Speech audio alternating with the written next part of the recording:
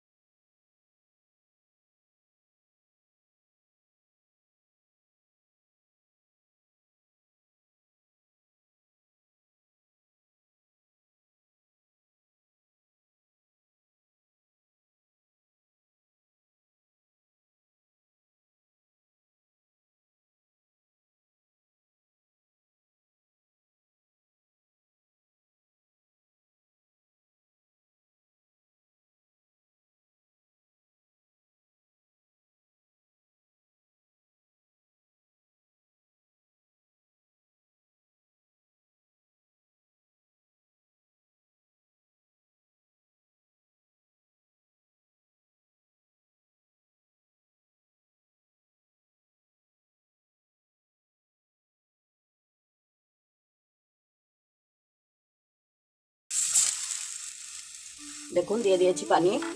দিয়ে দেবো দুটো তেজপাতা। দিয়ে পানিটা ভালো করে ফুটাতে হবে। ঠিক আছে? পানিটা ফুটিয়ে দেবো।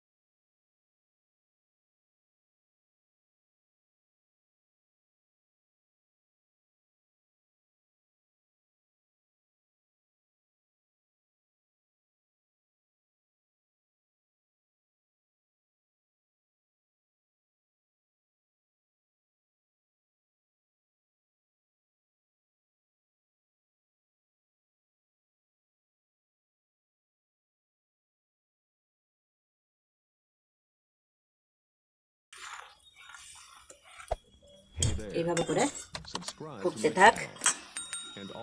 আর দেখুন আমি অল্প একটু বাটিতে আটা নিয়েছি।